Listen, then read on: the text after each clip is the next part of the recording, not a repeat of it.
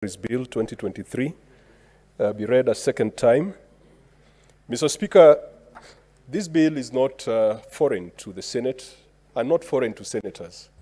This is a fourth attempt by Parliament to have a legislative framework that gives effect to Article 188 of the Constitution.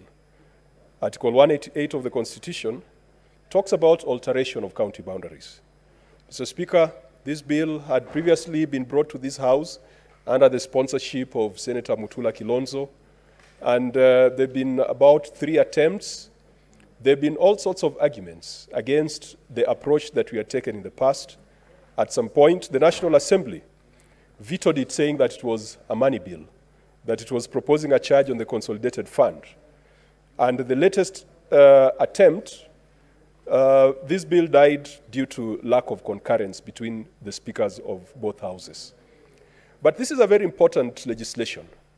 The team that was in Bomas, the National Dialogue Committee, flagged the issue of county boundaries as one of the key issues around cohesion that needed to be dealt with.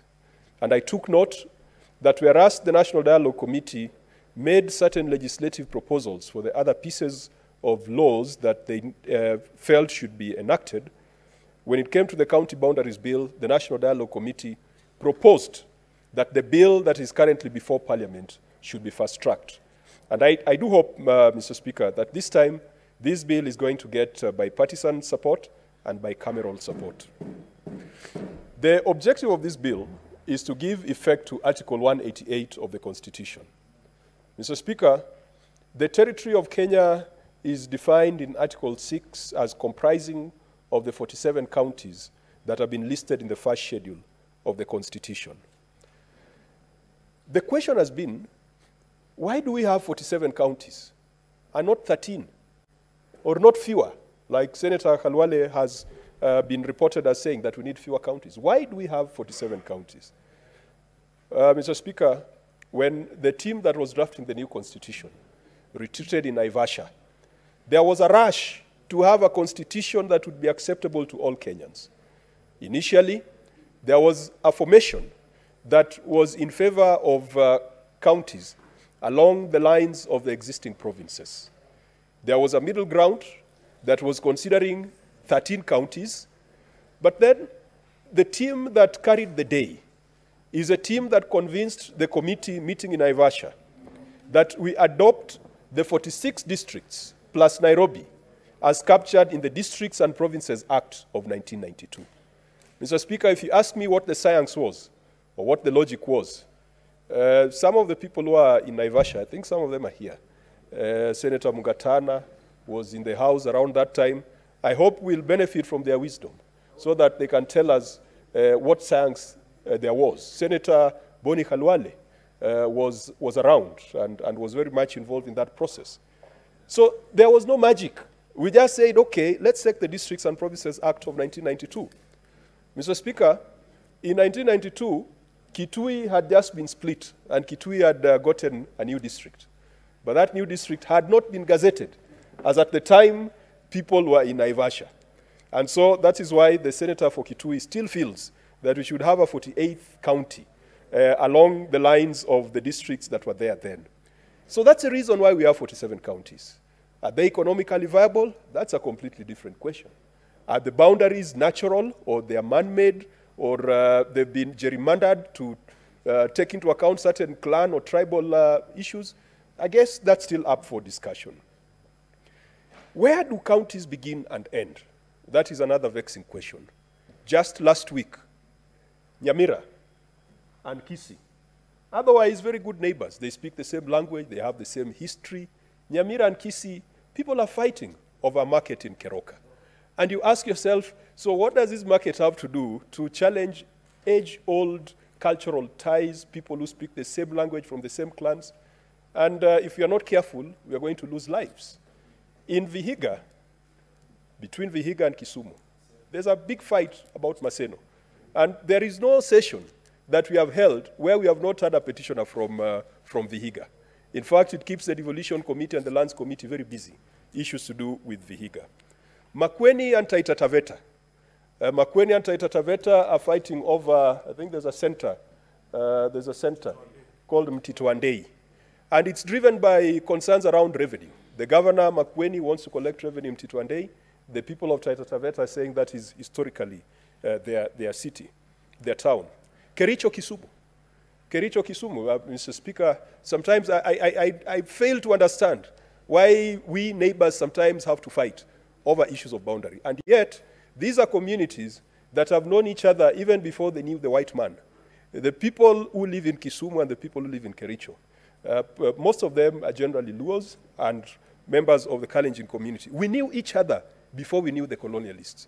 But then issues of boundaries separate us. Isiolo and Meru, there have been issues, and it is on record that there are about 40 petitions with regards to county boundaries. Some of those petitions have come before the Senate, others have gone to the National Lands Commission, and others have found their way in court. So, where counties end and begin is not captured in the Constitution. The Constitution only lists the 47 counties. But that description of where counties start and end is captured in the District and Provinces Act of 1992. And Mr. Speaker, the language used in the District and Provinces Act, Senator Mungatana will tell you, uh, leaves a lot to be des desired because it is, some, some language is not very accurate. Some of it is very descriptive. Some of it refers to natural features, which, because of climate change, they might not be there anymore. Some of it refers to rivers and streams.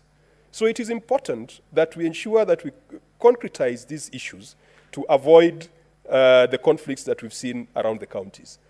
It might also be useful for senators to note that whereas in 1992 we had 46 plus one districts, plus one meaning Nairobi, between 1992 and 2002, President Moi had created 30 additional districts.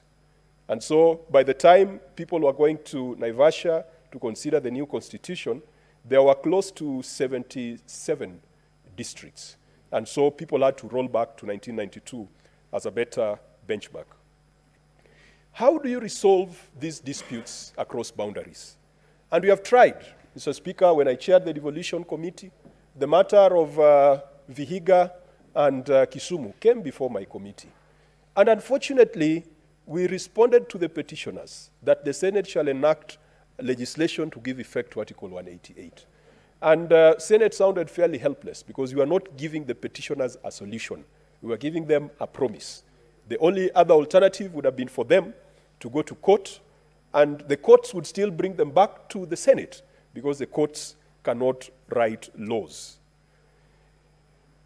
This bill, in attempting to provide a framework for dealing with boundary eh, disputes, establishes the County Boundaries Mediation Committee as a first instance for dealing with boundary disputes.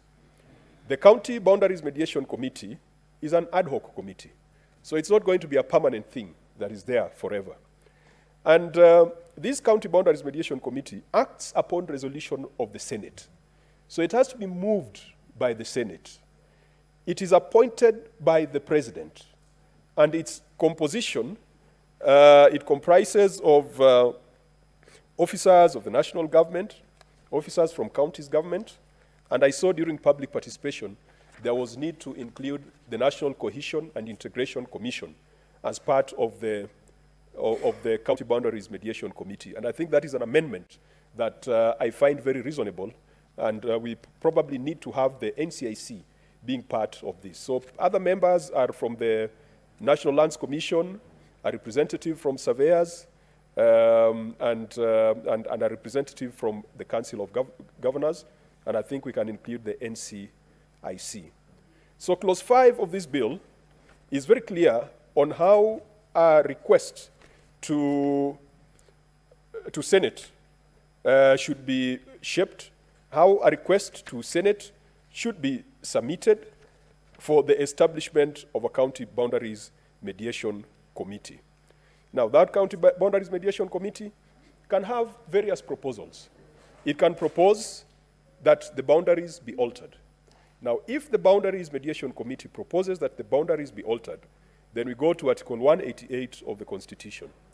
Mr. Speaker, Article 188 talks of instances or reasons that could uh, lead to alteration of county boundaries. Now, an interesting reading of Article 188 is that it sounds like once those conditions have been fulfilled, and once a commission has been established by the president, and once the commission reports that a boundary should be altered, then that alteration takes effect. And I've been looking at Article 188 and comparing with Article 255 that says that anything that affects the structure of devolved governments is subject to a referendum. But Article 188 sounds very final. Um, Mr. Speaker, these are some of the areas that we need to look into because Article 188, from a plain reading, means that you can alter county boundaries without necessarily going into a referendum.